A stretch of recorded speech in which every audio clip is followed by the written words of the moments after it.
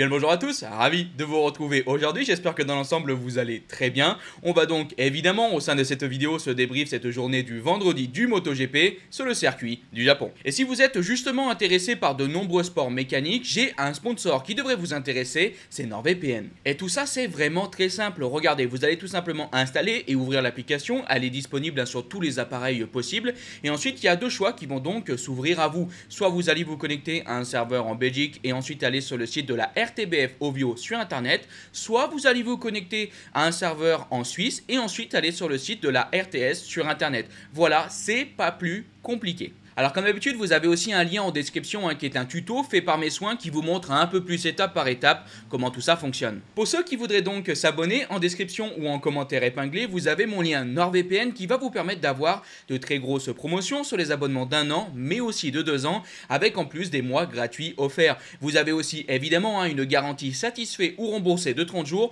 donc si au bout de 30 jours vous n'êtes pas satisfait, vous pouvez vous faire rembourser. Donc voilà, n'hésitez pas à aller tester. Moi je remercie évidemment NordVPN d'avoir sponsorisé cette vidéo. Et un grand merci à tous ceux qui se sont abonnés et qui s'abonneront avec mon lien. Ça permet évidemment de soutenir la chaîne. Allez, on est parti pour notre débrief.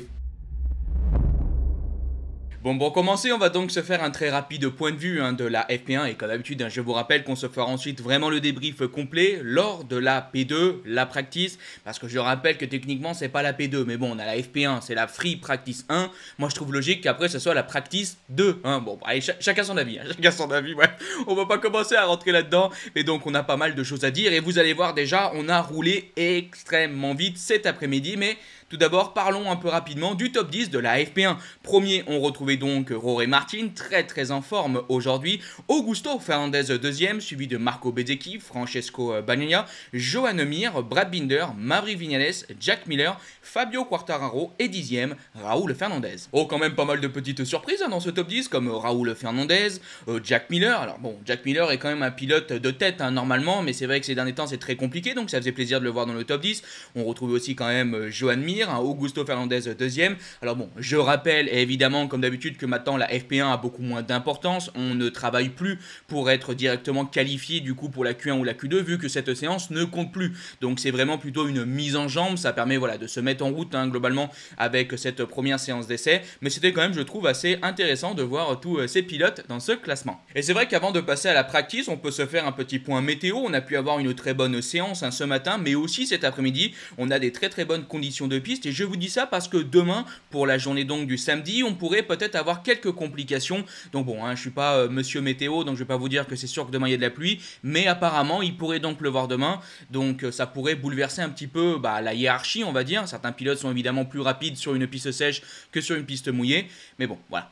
C'était le petit point météo, on verra ce qui se passera demain. Allez, justement, on attaque cette euh, practice, cette practice 1, cette practice 2, vous appelez ça comme vous voulez. En tout cas, on commence par le premier et c'est Brad Binder, le pilote KTM, avec un chrono exceptionnel parce que oui, il a donc battu le record de la piste. Brad Binder a réalisé une 43 489 et le précédent record était détenu par Roré Lorenzo en 2015, hein, en 2015 et c'était une 43 790. Ça rejoint évidemment les conditions météorologiques que j'ai pu vous dire, on a pu avoir de bonnes conditions, les pilotes ont attaqué, évidemment les MotoGP d'aujourd'hui vont plus vite et on a donc battu ce record. Et dans l'ensemble, c'était une bonne journée quand même pour KTM vu qu'on a trois pilotes KTM qui sont dans le top 10 et qui sont donc directement qualifiés pour la Q2. On retrouve donc évidemment Binder premier, mais on a aussi donc Paul Espargaro 9ème et Jack Miller 10ème. Je suis super content personnellement de voir Paul Espargaro 9ème. Les derniers week-ends ont été compliqués, beaucoup, beaucoup, beaucoup de chutes, mais il continue hein, sa petite bataille du coup en interne avec Miller. Miller qui est donc 10ème, Miller qui a chuté aussi.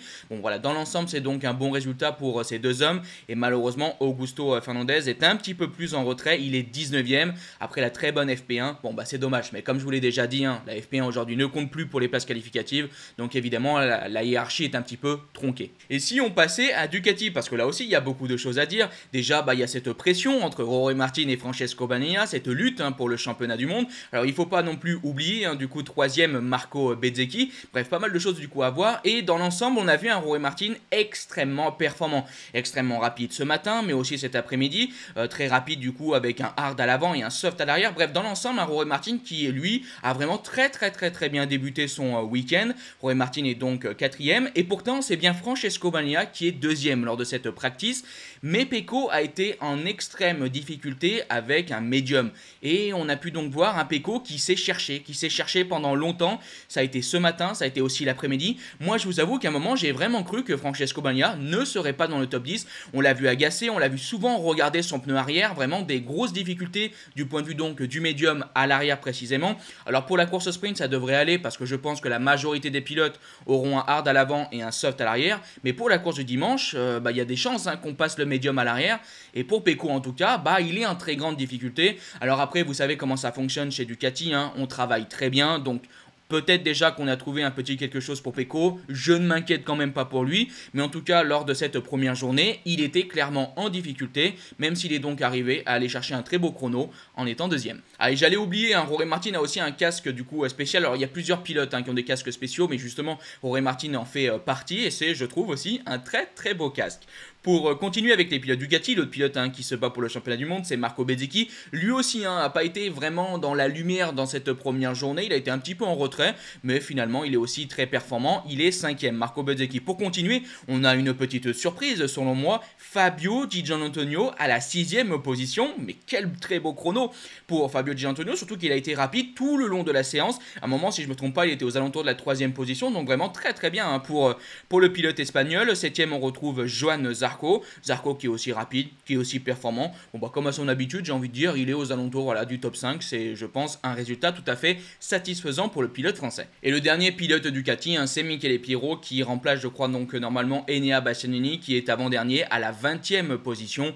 Bon, pas grand-chose à dire hein, sur Michele Piero, c'est un pilote test, évidemment qu'il n'est pas aussi performant que les meilleurs pilotes Ducati, mais c'est vrai qu'on a finalement pas mal d'absents hein, quand même chez Ducati, donc ça fait bizarre, parce finalement on n'a pas une liste de pilotes Ducati qui est aussi longue que le bras. Et tiens, pendant que j'y pense, dernier de cette séance, c'est donc Alex Rins, 21ème. Et oui, Alex Rins faisait donc son retour pour le Grand Prix du Japon. C'était entre guillemets un petit peu inattendu parce que normalement, hein, Stefan Bradl devait continuer de le remplacer pour l'Inde, mais aussi pour le Japon. Du coup, il faisait son retour. C'était génial hein, de revoir Alex Rins après cette très grosse blessure hein, qui s'est fait au Mugello. Ça fait maintenant des mois et des mois qu'il est absent.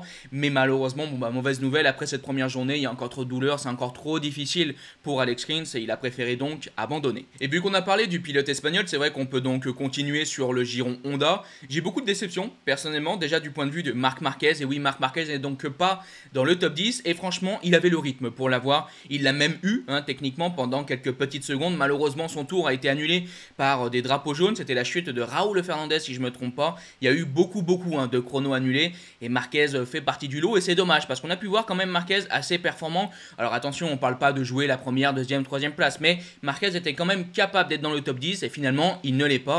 Et c'est quand même une sacrée déception euh, par rapport à ça. Euh, son coéquipier Johan Mir lui est 12e, Marquez donc il est 14e. Euh, On retrouve aussi ensuite du coup les pilotes LCR, donc Rins qui est dernier comme j'ai pu vous le dire 21e et Takeaki Nakigami qui est 18e. Alors on a quelques petites informations déjà pour Marc Marquez, il avait un casque spécial. Alors si je me trompe pas, c'est le casque de l'année dernière, hein. c'est le même, mais en tout cas il avait quand même un casque qui change d'habitude. On avait aussi un casque spécial pour évidemment celui qui roule aujourd'hui à la maison Takeaki Nakigami et je vous le dis tout de suite, je trouve que ce casque est absolument magnifique. D'un point de vue aussi un petit peu plus général, on continue hein, de voir que Honda fait bouger les choses en interne. On a appris hein, que le directeur technique euh, Shinichi Kokubu avait été donc mis à la porte. Faut quand même noter que ça faisait 30 ans qu'il était chez Honda et qu'il a travaillé donc pour le projet en MotoGP, mais aussi donc pour euh, le projet en Formule 1. Donc c'était quelqu'un d'extrêmement important pour la marque. Et apparemment, il pourrait ne pas être le seul, parce que d'ici 2024, on pourrait aussi avoir le départ de Tetsuhiro Kuwata.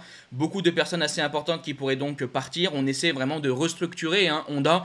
On essaie d'améliorer la situation. Peut-être aussi des Européens qui vont prendre ces places pour essayer d'améliorer la façon de faire, avoir une façon de faire plus rapide, peut-être techniquement moins japonaise. C'est aussi quand même techniquement un héritage un peu qui se perd. Bref, on essaie de, changer la situation, d'améliorer la situation d'un point de vue général pour essayer de tout simplement revenir au top, par exemple donc en MotoGP. Et tiens, vu qu'on parle de 2024, on a pu justement voir aussi euh, Joan Mir rouler un petit peu avec quelques pièces hein, du prototype 2024 lors de la FP1 de Motegi. Bon, il a dit hein, sensiblement qu'il testait un petit peu, histoire de voir, et ensuite euh, lors de la practice, il est reparti hein, sur la moto 2023 pour essayer d'aller chercher le meilleur chrono possible. C'est assez intéressant de noter que Marquez, lui, n'était pas intéressé du coup par ce prototype 2024. Il a dit que sensiblement, si j'ai bien compris, que c'était pas la bonne voie à suivre et donc du coup, bon, il voulait pas spécialement tester ce prototype. Bon, bah voilà. Euh, pour ceux qui se poseraient encore une petite question aussi sur l'avenir de Marquez, vous le savez, on attend tous hein, de savoir si Marquez va rester chez Honda ou par exemple donc partir chez Ducati. Le pilote espagnol avait déclaré que normalement il prendrait sa décision et il nous la donnerait euh, normalement entre le week-end en Inde et le week-end à Motegi. Mais récemment il a donc déclaré que du coup à Motegi il ne dirait pas euh, du coup son choix et qu'il fallait encore attendre normalement aux alentours du week-end qu'on va avoir du coup sur le circuit de Mandalika. Donc voilà, on termine donc cette grosse parenthèse sur Honda. Il y avait beaucoup beaucoup de choses à dire, hein. j'ai beaucoup parlé, je suis désolé pour ça, mais bon, il y avait quand même pas mal d'informations. On va donc maintenant repasser au dernier constructeur européen, c'est Aprilia. Tout d'abord, à la troisième position, c'est Aleix Espargaro. Espargaro qui a fait un petit peu comme Francesco Bagnaia, beaucoup plus en difficulté avec par exemple un médium à l'arrière, et quand il a passé un soft 9, il était vraiment vraiment beaucoup mieux. Donc ça veut dire que techniquement, en qualif, en course sprint, il va sûrement être performant, mais attention hein, pour par exemple la course du dimanche, parce que comme je l'ai dit, Aleix est aussi un peu en difficulté avec un médium à l'arrière. Il a été très souvent en dehors du top 10 avec ce pneu. Donc il faudra voir comment tout ça va évoluer. Pour les autres pilotes Aprilia, on retrouve Maverick Vignales 8ème, Miguel Oliveira 11ème qui est assez performant et malheureusement hein, qui, échoue, euh, qui échoue à la pire des places, hein, à la 11ème place, aux portes donc du euh, top 10. Et le dernier pilote Aprilia, c'est Raoul Fernandez à la 17ème position. Bon voilà, dans l'ensemble, il n'y a pas grand chose à dire sur les pilotes Aprilia. Il y a une grosse rumeur quand même sur euh, Maverick Vignales, mais ça on en parlera après le week-end de Motegi. Et sinon, bon bah Aleix Espargaro a aussi un casque spécial hein, pour du coup ce week-end. Voilà, très beau casque. Dans l'ensemble, tous les casques qui ont été réalisés, je les trouve vraiment magnifiques. Et c'est, je trouve, très très intéressant d'avoir tous ces casques spéciaux du coup pour ce week-end. Bon, puis allez, je vous y mets quand même. On a pu encore une fois tester hein, cet aileron à l'arrière hein, pour euh, tous les pilotes Aprilia, que ce soit donc pour les pilotes RNF, mais aussi donc pour euh, les pilotes usine. Bon, cet aileron, hein, ça fait longtemps qu'on le teste. On verra s'il va rester euh, définitivement. Allez, maintenant, on va donc passer à Yamaha. Et malheureusement, il y a aussi une grosse déception. On va parler de Fabio Quartararo. Fabio qui était vraiment très rapide lors de la FP1, très rapide pendant la majorité de la practice. Malheureusement, il va se mettre une grosse boîte, une boîte assez particulière. D'après ce que j'ai vu, il y a eu apparemment donc un problème hein, sur la Yamaha. Bon, c'est très frustrant, mais bon, c'est le sport mécanique, ça arrive, sauf que cette boîte, ça a pas mal brassé le pilote français. Il avait le cuir vraiment complètement défoncé. Il avait aussi apparemment un peu mal à la jambe, hein. il boitait pas mal le pilote français. Alors je sais pas si c'est la jambe, le pied, le talon peut-être aussi. Bref, en tout cas, Fabio boitait, ça a été compliqué. Comme je vous l'ai dit, ça l'a vraiment brassé. Alors normalement, il n'y a pas de grosses blessures pour lui. Il a pu ensuite remonter sur la moto. Mais ça, ça s'est passé à peu près vers la fin de la séance. Tous les pilotes se sont mis ensuite à attaquer, ont passé des pneus neufs. Fabio a aussi tenté, mais malheureusement là, bah, il n'était pas très bien, il était moins performant. Et malheureusement du coup bah, il a perdu euh, de la performance et il s'est retrouvé en dehors du top 10 à la 13e position. Et malheureusement c'est le Rémi du montage, hein, je vous rajoute ça, la mauvaise nouvelle vient de tomber, hein, Fabio est donc bien blessé, il a une entorse à la cheville droite, alors évidemment il pourra normalement continuer de participer hein, au sein de ce week-end, mais comme je vous l'ai dit, on avait un week-end qui s'entamait vraiment d'une manière positive, et malheureusement, bon, bah, pour l'instant, on n'a pas vraiment de bonnes nouvelles et c'est bien dommage. Et je suis vraiment déçu parce que je me disais dans cette vidéo, je vais être positif, je vais vous dire, c'est super, Fabio il est rapide, ça fait du bien, il continue avec l'Inde. Et malheureusement, bon, bah voilà, encore un problème qui vient se rajouter à déjà une liste de soucis chez Yamaha qui est assez longue. C'est comme ça, hein. encore une fois, c'est comme ça, ça arrive, mais c'est vrai que c'est dommage pour, pour Fabio qui était vraiment rapide. J'espère que demain, s'il se remet bien en forme, il pourra de nouveau être extrêmement rapide et se qualifier donc en Q2 sinon, du point de vue de son coéquipier, lui par contre, il était beaucoup plus en retrait. Hein. Franco Morbidelli était 15ème et ça a été dans l'ensemble une journée assez difficile pour lui. Ah, et chez Yamaha, j'ai failli quand même oublier Cal Crochet, le pilote Crochet qui vient en faire faire une petite wildcard en MotoGP. C'est quand même à noter et à ne pas oublier.